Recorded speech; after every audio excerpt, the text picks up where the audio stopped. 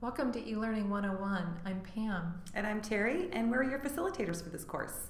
eLearning 101 is an orientation that will help you build skills and knowledge to be successful in your online and hybrid courses at HSU.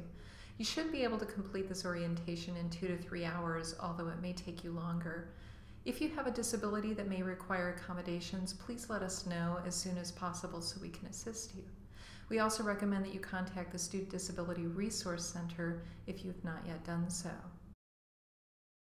This orientation consists of seven sections or modules that cover the following topics Moodle, communication, motivation, time management, learning strategies, study skills, and student support. Each module should take you about 15 to 20 minutes, although some may take longer, and each is structured the same. You will read the learning outcomes and overview for the module, read the material, watch a short video in some cases, and finally, take a short quiz to monitor your learning. Once you have completed the quiz and submitted your answers, simply return to the breadcrumbs at the top of the page and return to the main course, and move on to the next section.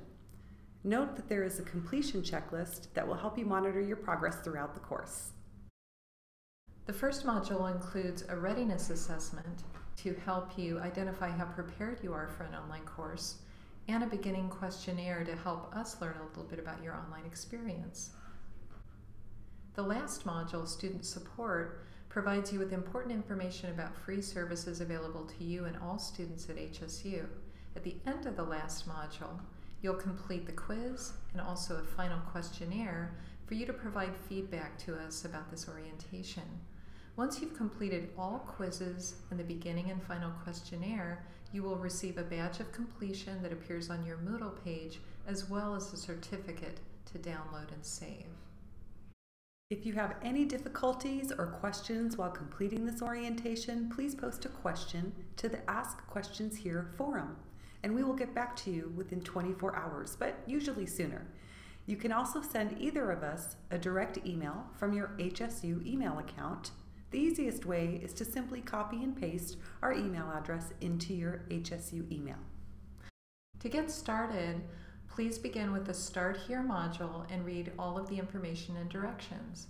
You don't need to complete eLearning 101 in one sitting.